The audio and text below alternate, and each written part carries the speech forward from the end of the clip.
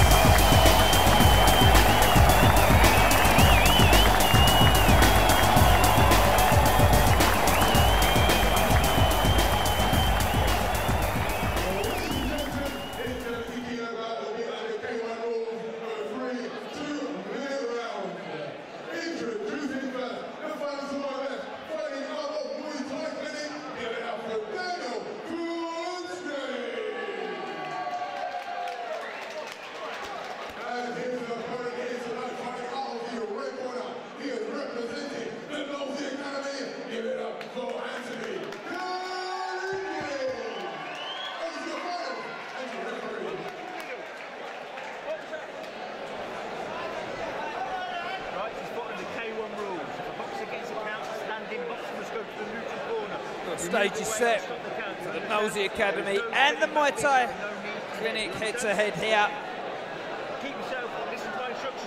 I'm surprised, you know, Danny. You've got Daniel, um, Daniel from the Muay Thai Clinic and Andy from the Knowlesy Academy. Two very reputable Muay Thai gyms fighting K1 rules. You wouldn't have thought this would have been a Muay Thai fight. Well, different fighters, suit different styles. Yeah, it looks like it's all about the styles with these lads both starting fast. Looks like a K1 fight already, uh, Filipschi. Yeah, massively, yeah. But very energetic start from Anthony Kannike. Oh, he steps up very well and jumps with that left kick. But that tight guard that you need in K1 bounce that Filipschi has. Trying to find range at the minute, and the taller opponent is utilising his range well, isn't he? Yeah, he is. Uh, Philip, uh, sorry, Daniel Filipschi struggling with the range. He's uh, he's missing wildly with shots at the minute. He's struggling with the height and the range of Anthony Kannike, who, as you say, he's using it really well. The one thing that is working for Filipschi at the minute is the hopping right push kick. Wow, lovely left head kick as well. He's got skills, this kid, hasn't he? He's very good. Means it with intent when he throws his shots as well. Look at that right hand. He's quite precise in what he throws. Danny, I think someone's getting knocked out before the end of this fight. Well, that's what you expect from K1. Powerful shots, Alex. And he's lived up to it, hasn't it? It has. It's, good, it's good, to see some really good K1 battles. when they set up. Is it answered already, Alex? It's already been answered. Tries to get tries to get a clinch on there to get his shots off. The referee breaks that. Just Podesta nearly took an overhand right from uh, Filipschi then. Now the fighters have stopped jumping all over the place. Wow, big stiff left hand there from Filipschi. Andy Kannike felt that. Has Kannike tired a little bit? Has that pace just... He came out the traps extremely fast, didn't he? He did, he did, Danny. We will see. Oh, good left hand on the inside there. He's the heavier puncher of the two, actually, Filipschi. He's a big puncher. And he ended the round well. He did. There was nothing between that round. Kannike started really fast, and Filipschi finished it in a good fashion too. I think it was a quite good opening, though, wasn't it, from Filipschi? I think the opening to that uh, round was a little bit stronger than the way Filipschi finished. But, you know, the commentator's card counts for nothing in this game.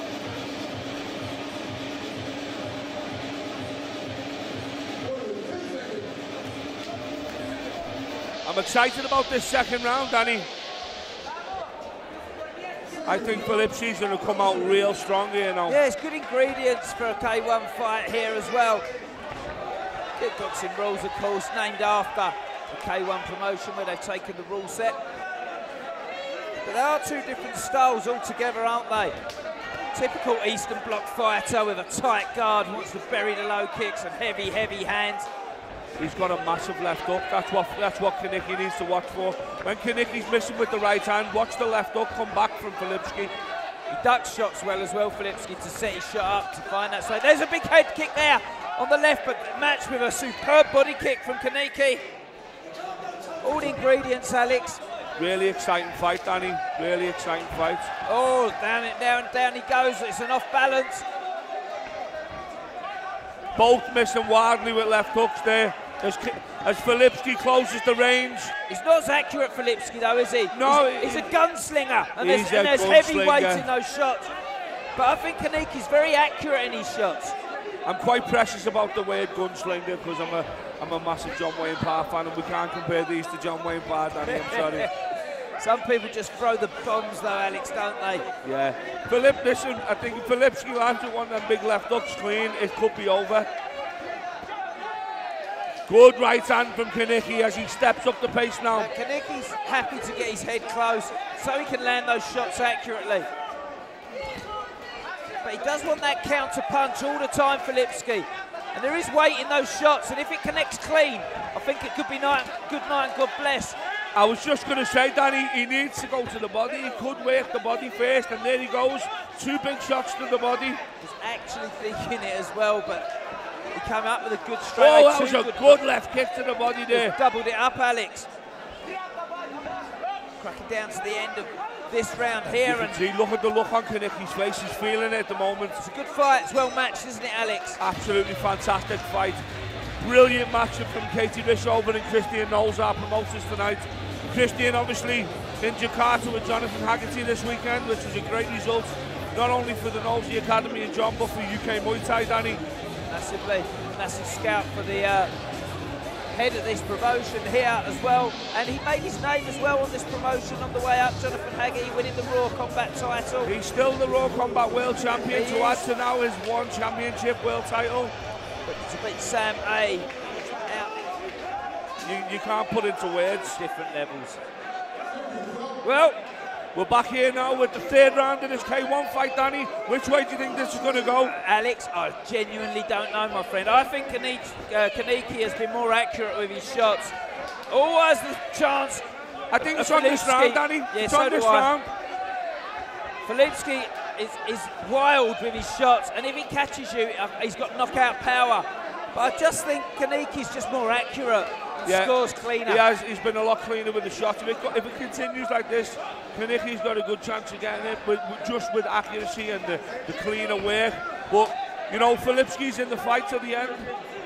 They're warrior brand fighters, and that's what they do. They fight to the very last whistle. If he was three rounds down, which I'm sure he's not, but if he was, it's one of those fighters that's going to come and just try and take your biscuit tin clean off for that win, isn't he? He certainly is, Danny. There you go with what you were talking about just then. For those who don't know the Cockney slang, the biscuit tin is the chin.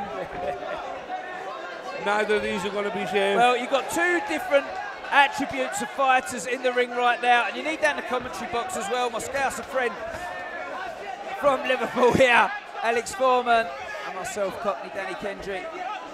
It works, doesn't it, Alex? It He's works. working in the ring right now, isn't it? this is a great fight. I, I, I seriously can't separate these boys at the moment. Tiring down. The, the venom's gone out the shots now, and they're just taking it away. It's the heart of determination that's driving them through now more than the energy, isn't it? You can see they both set for a second, and then they both just go together like an explosion. Look, set, and then the two of them go forward. It's fantastic to watch. It's got them tidy now. Just they're really tired now. The fighters they've given it absolutely everything. As a coach, Alex, all you can ask for of a fighter is give me everything, isn't it? Yeah, leave it all in the ring. Don't get out that ring and wish you could have done more because it's over then. Just There's been a couple of shots towards the end of this round, low kicks and punches, which I feel could nick this fight for Kannike, you know. Yeah, I, I, I could go with that, Alex, but Warrior Brown fighter, and in K1 you have to come Wow, forward all the right time. hand at the end from Filipschi to finish the fight. Do they go? Standing ovation around the Roar Combat Arena here, Danny. Well they. Alex, do they go with the aggressor of the fight or the accurate shooter of the fight? I'm sitting on the fence, Danny. Do you know Yep. what? You wouldn't argue with a draw rematch next show. Um, impartial job this commentary, uh, Malarkey Alex, but the We- we- it's we've been in enough fights, Danny, to know who's going to go with our Roar Combat League judges, Alex, my friend, and I'm going to back them on this one because I think that's a good fight, really good one.